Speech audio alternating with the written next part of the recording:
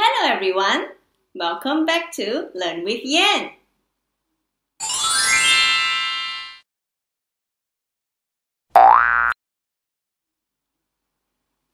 Dale Chong from Facebook voted to do a video on science experiment.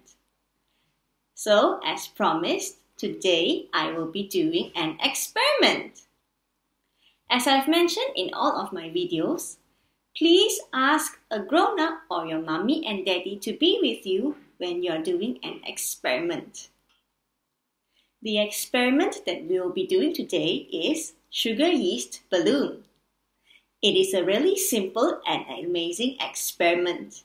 So come, let us get the things that we need. We will need a bottle, some warm water, 1 teaspoon of sugar, some instant dry yeast, and a balloon.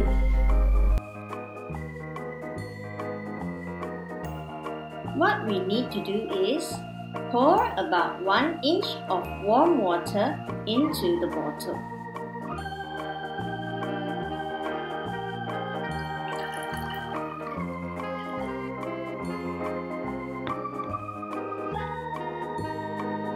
Next, add the instant dry yeast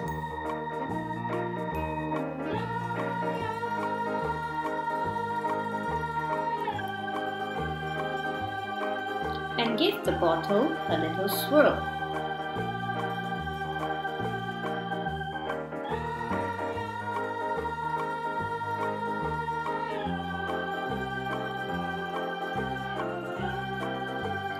Add in 1 teaspoon of sugar to the yeast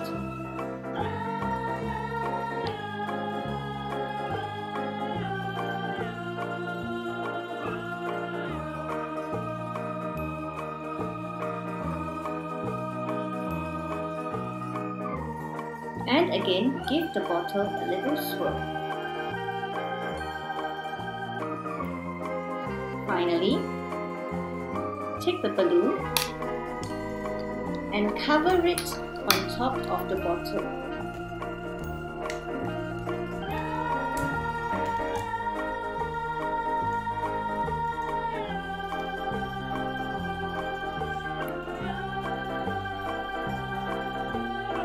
Now, let's wait.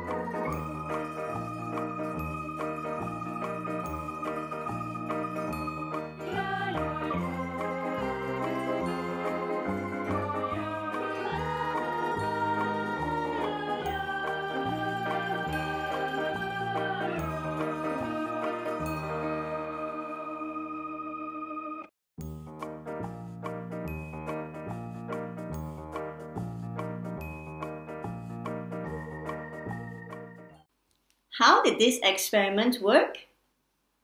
Yeast is a kind of microscopic fungus that is used in some of the bread that we eat. When warm water and sugar is added to the yeast, the yeast feeds on the sugar and becomes active.